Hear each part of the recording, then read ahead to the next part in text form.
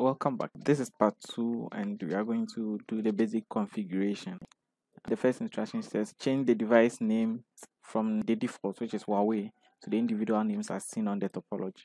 If we come to the topology and you double click on one of the devices you realize that the the name here is huawei. The instruction says we should change it to the one names seen on the topology. So we are going to rename them from the default Huawei to their name. So switch one, we go into the system view, right? You go so you do system view. Inside the system view, you type sys name, then do switch SW1. Yeah, so this will rename it to SW. After that, you see that here is now SW1.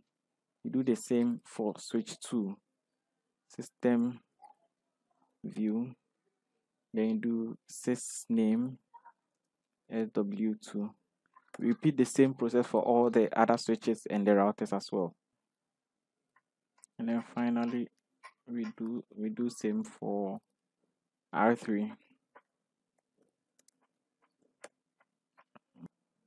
the two says for r1 which is the edge router of the other branch office do the following. First of all secure the console interface with the username and a password. Username should be your first name and password your index number. Password should be encrypted. So you open R1. Since we are going to authenticate with a username and a password, we need to create that user into the, the database of R1. Right. So we go to AAA. We know AAA protocol is used for authentication, authorization, and then um, accountability. Right. So we enter the AAA protocol view by typing AAA. Then you do local user. You type the name, which is your first name, right? Mine is Kwesi. Then password, cipher. Cipher means the password should be encrypted. Now we need to type in the password, which is your index number. So I'll just do one, two, three, four, five, six.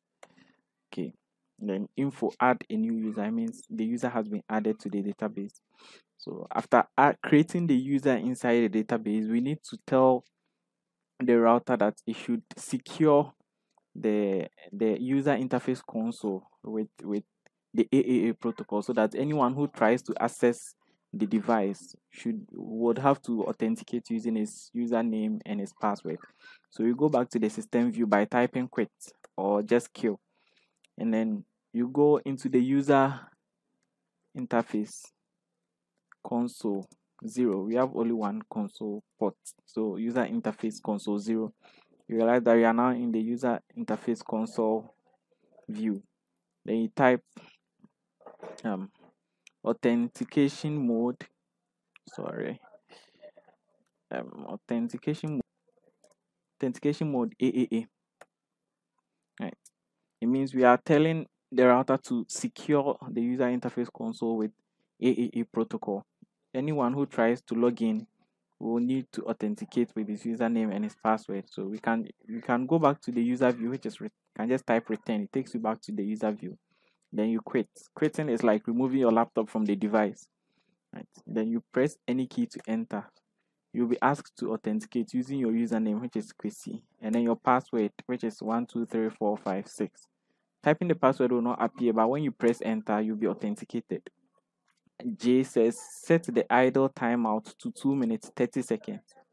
So the idle timeout on the user interface console just tells you that after this specified amount of time, if there is no activity going on inside the console, just simply log out the user so that when he tries doing anything again, he would have to log in. So we go to the system view by typing system view. After that, we enter the user interface console. User interface console zero. Then you do idle timeout. Idle timeout is 2 minutes 30 seconds. That's 230. Meaning after 2 minutes 30 seconds, the user will be logged out and then we are done with DJ. The, the next one says set the shell information to welcome engineer your name. You go back to the system view using kill. Right, we create and go back to the system view. And then we type header.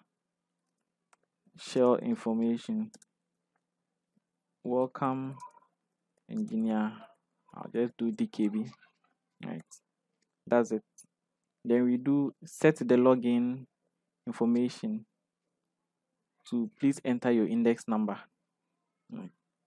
header login information please enter your index number. Then just set the the date and time zone. The time zone should be your last name. So you go back to the user view.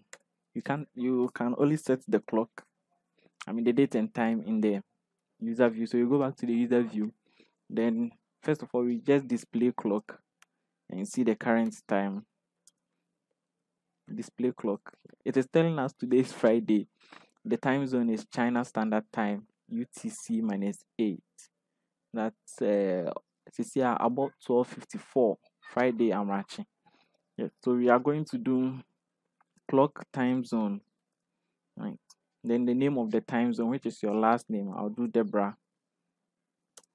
Then uh we do add. Add we are adding zero to the utc time. Utc time is just like um gmt okay? So then we do display clock. Now the time is correct. 454 it is 454 on the laptop okay? And uh, the date too is also correct. So we are done with this one. Basically we are done with question five. Right. Uh, so now let's let's go let's log out of the user view and then try logging in again. Will tell you please enter your index number which was the login header login information that we we set. So you enter then you one two three four five six as password.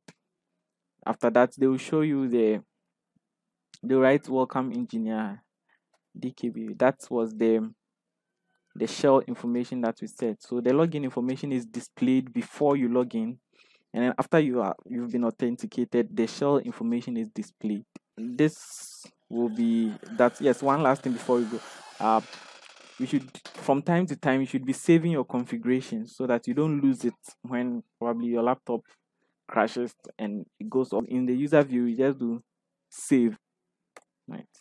Are you sure you want to continue? Yes. You type y you press enter right? It will take several minutes to save configuration file. And then um, it will save.